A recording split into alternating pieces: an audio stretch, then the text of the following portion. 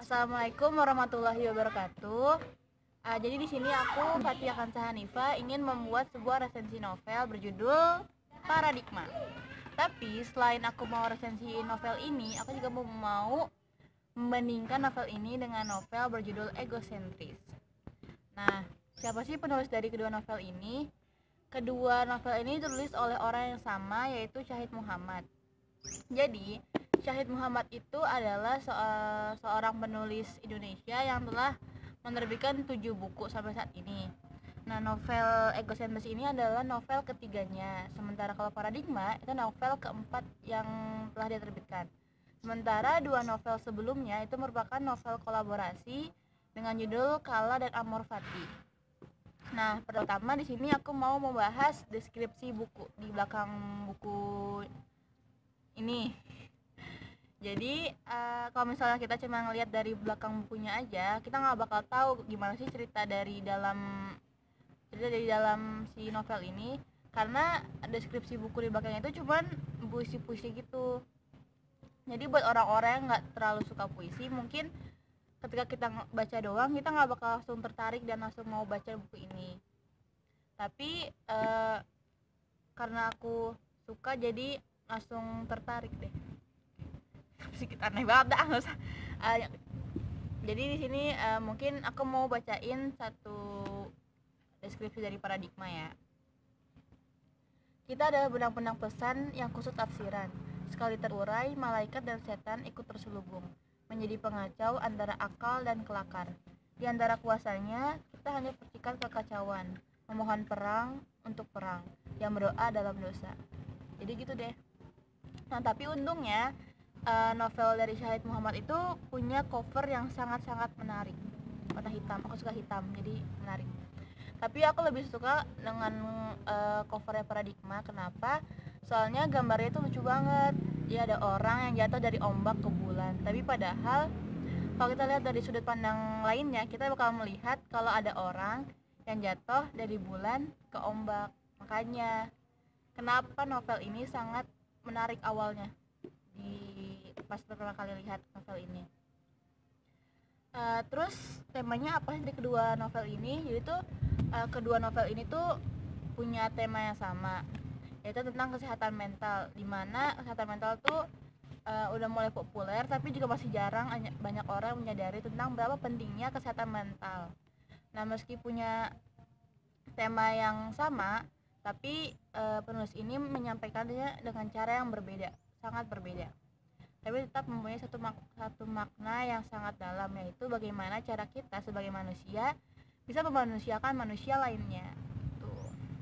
Nah memang tentang apa sih novel ini?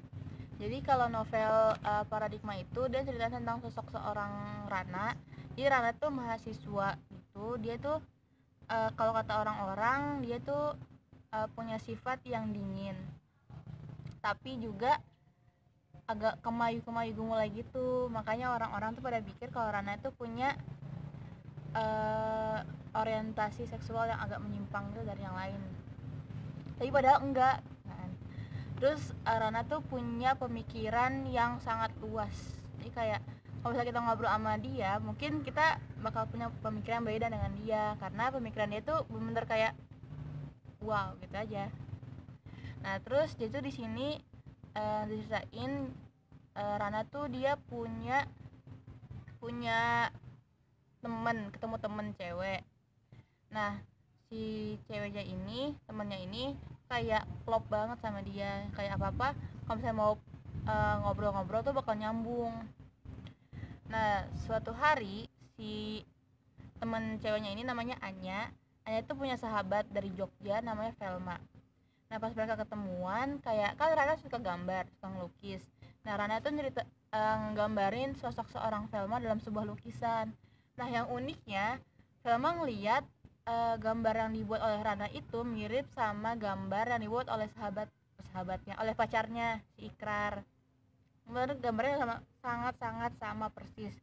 Cuma beda ukuran doang. Itu tentang kupu-kupu yang hinggap di bulan nah dari dari situ uh, Anya sama Velma tuh kayak nyari tahu kenapa bisa kok bisa sama gitu gambarnya. Terus kayak suatu hari uh, suatu foto Rana yang berdandan kayak perempuan tuh tersebar di, di kampus. Jadi uh, di foto itu tuh uh, Rana lagi di pinggir jalan terus dia berdandan kayak perempuan dia pakai kerudung pakai daster gitu-gitu terus gara-gara foto itu kesebar kayak satu kampus satu universitas tuh ngomongin Rana kayak ini Rana kenapa sih begini gini gini? Terus kayak orang-orang pada mikir kayak jangan-jangan si Rana ini gay lagi atau gimana gimana kan. Tapi ternyata setelah sahabatnya sahabatnya Rana namanya Aldo dan hanya ini kayak mencari tahu ternyata nggak gitu. Jadi tuh dulu pas kecil Rana tuh mamanya meninggal. Tapi gara-gara uh, kayak kehilangan itu Rana tuh membentuk sosok mamanya di dalam dirinya Rana. Jadi kayak satu satu tubuh ada dua kepribadian Rana sama mamanya itu. Makanya yang kata kalau misalnya ada orang-orang lihat Rana sebagai cewek itu sebenarnya dia melihat mamanya tapi dalam sosok seorang Rana.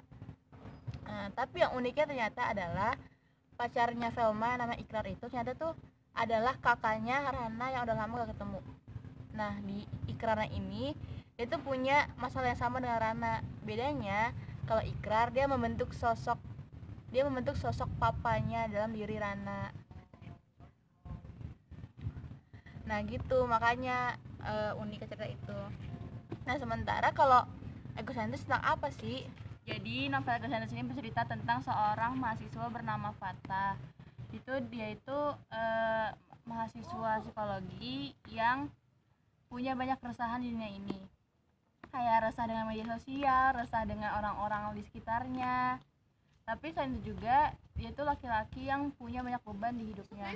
Itu punya beban kepada ibunya yang eh, nggak eh, pernah merasa cukup dengan kehidupannya sekarang. Nah, selain itu juga ada juga punya beban ke ayahnya yang udah meninggal tapi selain tentang Fatih egosentris, ini juga cerita tentang sahabat-sahabatnya Fatih yaitu Saka dan Fana tentang uh, apa yang mereka jalani di hidup ini. Terus kalau misalnya ngomongin alur cerita, dari kedua novel ini uh, aku lebih suka sama paradigma. Kenapa? Soalnya kalau uh, di paradigma itu alur ceritanya itu nggak uh, nggak terlalu rumit seperti di egosentris. Jadi pasti bisa mudah dipahami. Terus asalnya juga di paradigma itu plotnya itu sangat-sangat bikin wah gitu loh. Soalnya ada plot twist tengah-tengahnya. Kayak siapa yang nggak nyangka? Siapa yang bakal nyangka kalau misalnya ternyata Rana sama Ikrar tuh kayak gini gitu kan?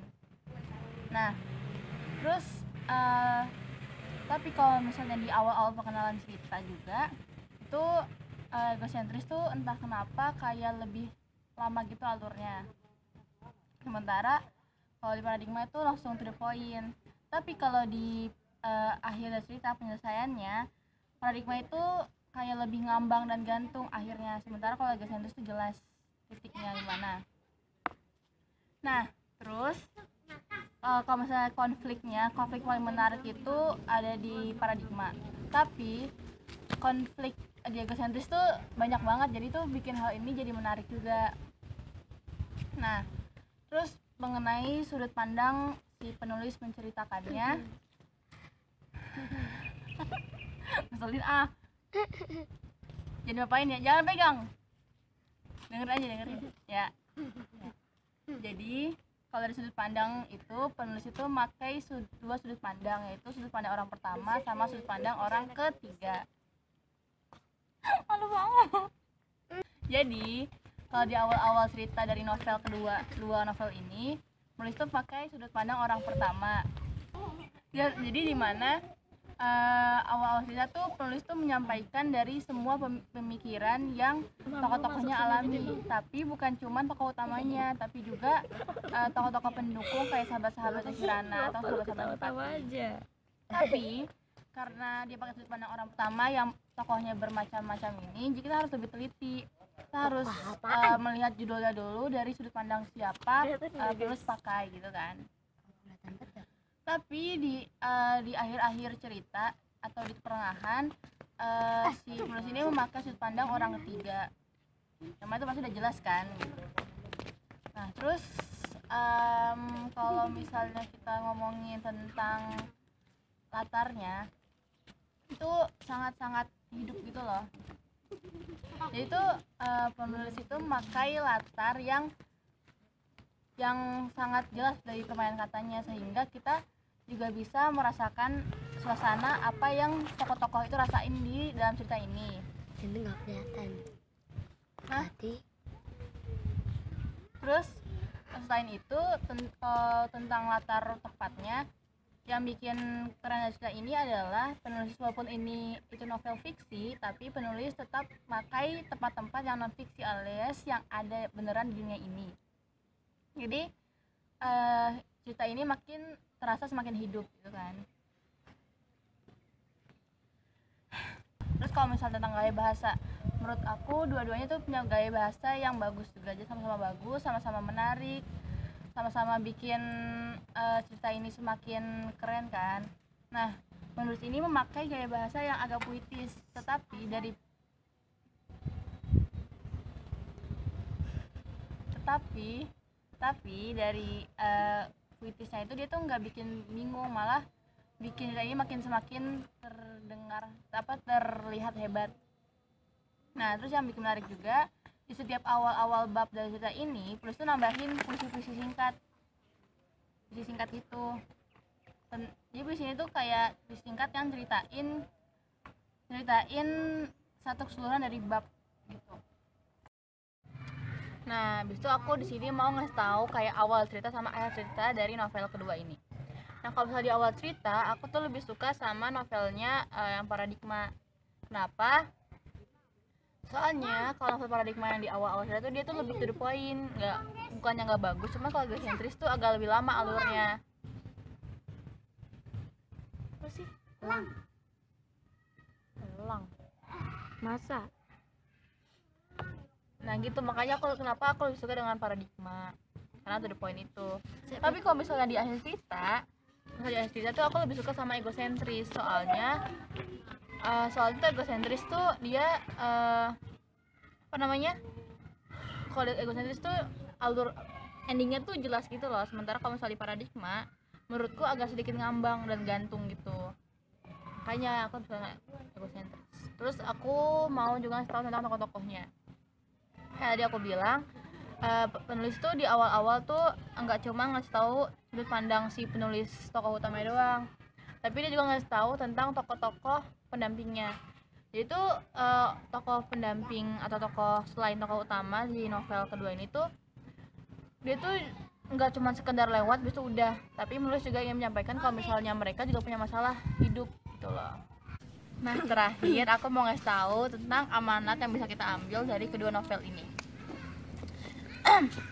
Misalnya bisa, amanat yang bisa ambil itu adalah kayak gimana cara kita memperlakukan orang lain, cara kita mem- cara kita menghargai hidup ini, gimana cara kita eh, eh, supaya kita sebagai manusia itu jangan menilai apa pun cuma dari luarnya doang. Karena yang kita lihat dari luar belum tentu bakal sama seperti yang ada di dalamnya. Nah, cara penulis menyampaikan amanatnya itu tuh sangat-sangat baik. Makanya kenapa? Menurut saya Nah, makanya kenapa? Nah, makanya kenapa menurut saya kedua novel itu sangat-sangat bagus. Tapi kalau misalnya tapi kalau misalnya disuruh milih antara paradigma atau egosentris susah sih. Tapi mungkin aku bakal milih paradigma. Kenapa? Karena dari dari semakin dari sekian banyaknya alasan paradigma tuh yang paling lebih wah gitu daripada egosentris. Makanya aku kenapa lebih suka dengan novel paradigma? Tapi bukan berarti egosentris gak bagus ya. Kok dimasukin ke dalam? terus sebagai sebagai penutup sebelum aku mau mengakhiri review kita hari ini aku mau bacain satu kutipan yang paling aku suka. Jadi kutipannya adalah untuk kita dan kalian yang merasa dibedakan atau terasing oleh orang-orang atau bahkan oleh pikiran kita sendiri kita berhak punya tempat minimal dalam diri kita sendiri Nah, eh, sekian eh, resensi novel yang bisa saya sampaikan. Eh, semoga bermanfaat buat kalian. Tetap semangat dan terima kasih. Wassalamualaikum warahmatullahi wabarakatuh. Yeay.